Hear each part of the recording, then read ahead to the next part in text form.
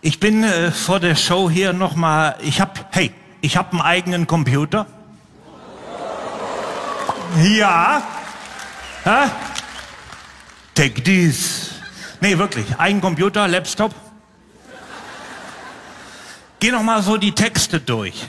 Sitz vor meinem Laptop, geh alles durch. Kommt mein Sohn rein.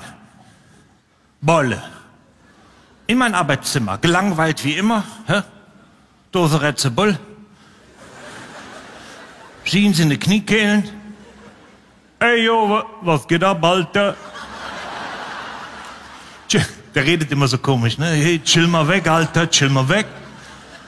Ha, lol, chill weg, chill weg. Sagt aber immer von mir, ich würde komisch sprechen, ne? Ich sag, ja, Bolle, das sind ganze Sätze. Egal. Er kommt rein, Computer steht da und setzt sich.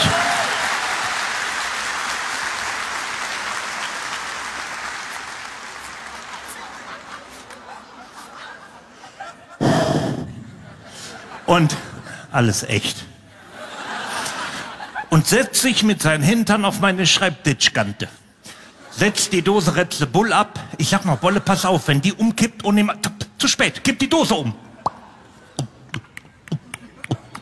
Ganze Rätzle Bull über meine Tastatur.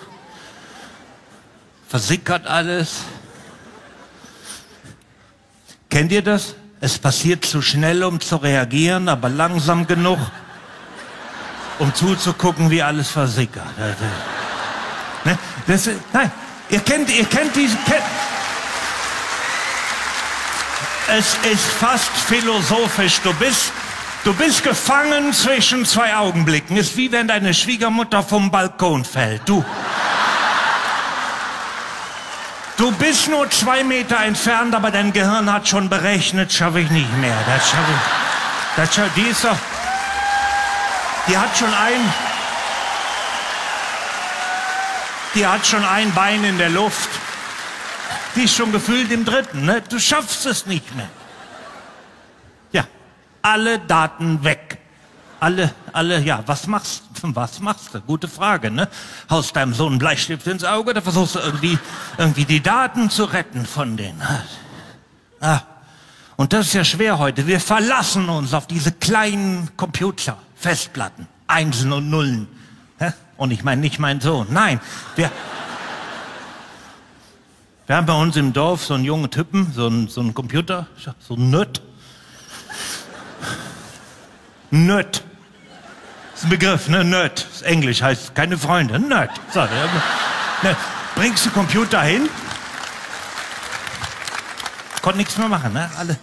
So, und dann kommt Familie, ne? Die versucht, meine schlaue Familie, die versucht zu helfen. Meine Tochter so Saska, oh, musste trocken föhnen. Das entzieht ihm die Feuchtigkeit. Ich sag, was du in der Hand hältst, ist ein Glätteisen, du. Du dumme Nutz. Ja, aber was machst du? Und während ich mit meiner Tochter diskutiere, kippt meine Frau Hilde Reis auf die Tastatur. Ich sag, was machst du denn? Ja, das entzieht ihm die Feuchtigkeit. Ich sag aber doch kein gekochter Reis. Mann, wie doof bist du denn? Ja, aber